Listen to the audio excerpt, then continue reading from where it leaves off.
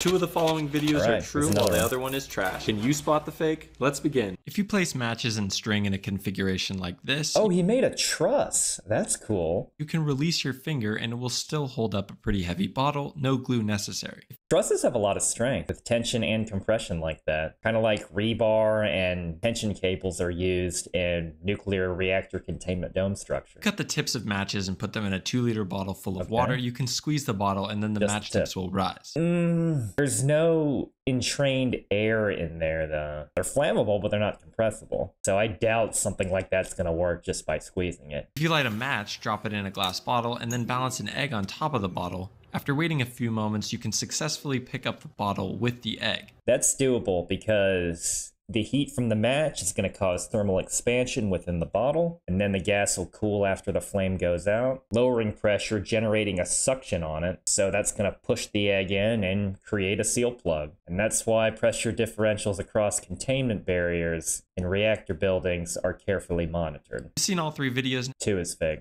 now pause to vote in the comments which one you thought was fake. When the match goes out and the air inside the container cools, a partial vacuum is Yep. created that tries to Sucks suck the egg in.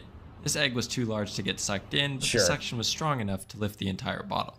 If you thought this balancing video was fake, well then you'd be wrong.